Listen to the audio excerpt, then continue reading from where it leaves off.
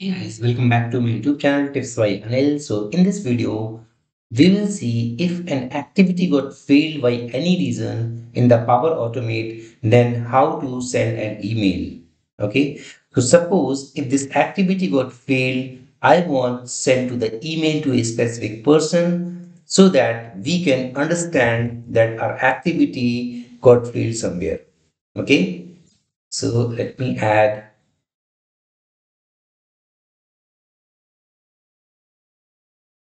Okay, so here uh, I created this HTTP post request.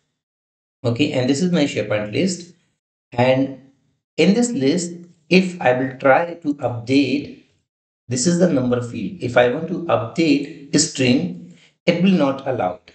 It will say that uh, this column don't accept the num uh, string field. Okay, so if we'll see here, see here. Okay this is the error. Now if i'll update some something eh, else here like only numbers can go here. Okay the same thing i want to try here. So suppose i want to send this email to myself number update failed okay and he anil number update failed okay?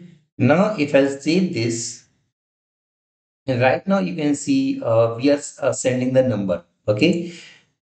And let me test it.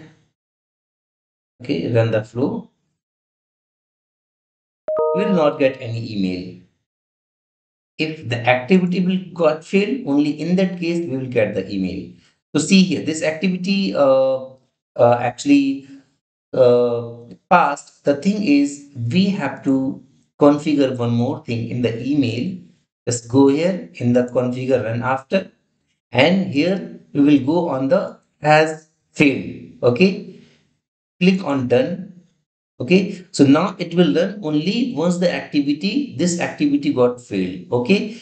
Before this, it was on success. So if you will see here, we got this message this email. Now, this email will only generate if the activity will, uh, will fail. Okay. So let me try it. Click on run flow. Now this activity will not, you know, this activity will escape because this activity will run only if this will be failed. This activity, the previous activity will got failed. Okay. So let me put the string here let me save it and test it. Now we will get the email because this column will not accept string. Okay, so see here cannot convert a primary value to the expected type edm.double okay so this exception we got this activity got failed and here this got executed. And see here we got the another email. Okay? So i hope you like this video. If you like this video then please subscribe my channel. Thanks for watching. Have a nice day. Bye bye